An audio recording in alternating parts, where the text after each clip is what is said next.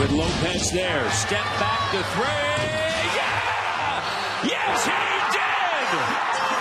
The best player in the 2019 postseason is on the Raptors, and his name is Kawhi Leonard.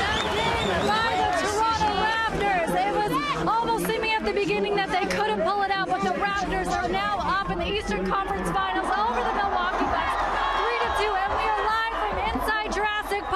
where you can see hundreds, thousands of fans are excited. And right now, Drake is actually on the stage talking to the fans.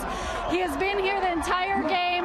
He hasn't been really interacting with the fans in the crowd, but he has kept them hyped the entire time. And we spoke to fans earlier. Raptors are going to go all the way to the finals.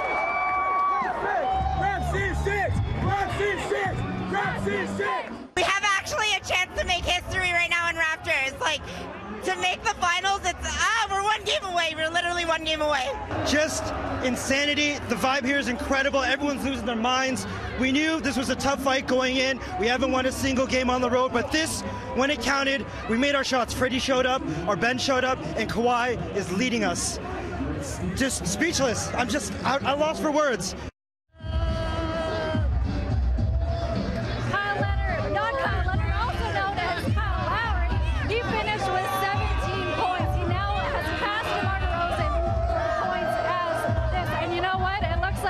Scrum going on right now, which NBA in the whole world. Look around, look around you. Look at this. We created this. This didn't exist before we were here. Look around at the square. I promise you right now, we did this. Doesn't matter what anybody says. They can say it's disrespectful. They can say it's this and that. And that. Everybody's within. Everybody's within the rules.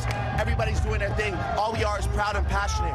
We are like a college sports team. The Toronto Raptors are a college sports team. I promise you. I love Toronto. I love this team, and we're going to the NBA.